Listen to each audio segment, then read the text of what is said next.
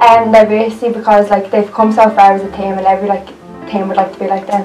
And like Beyonce and uh, Chris Brown and Shakira. Uh, yeah, it made us more connected to each other and like we made like a lot of lifelong friends. And we've all become like nicer people as a group.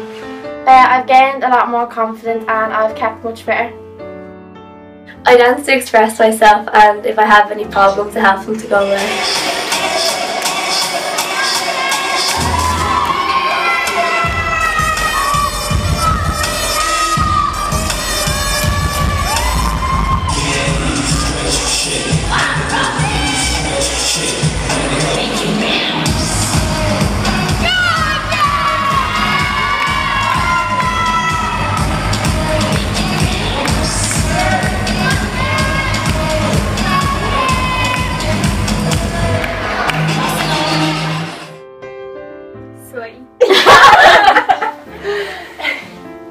Uh, you feel less stressed and Oh, yeah. all the worries are gone. Like.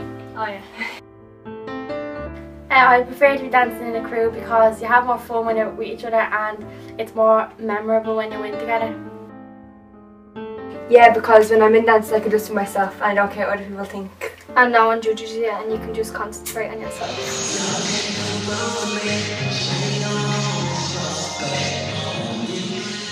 People dance because dance can change things. One move can bring people together. One move can make you believe like there's something more. One move can set a whole nation free. Dancing is about different people coming together. We're all here because we do this thing we do. We dance.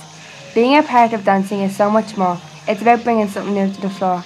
And it shouldn't matter what we wear, what school or what neighbourhood we're from. Because the best part of dancing is not about what you got. It's about what you make of what you got.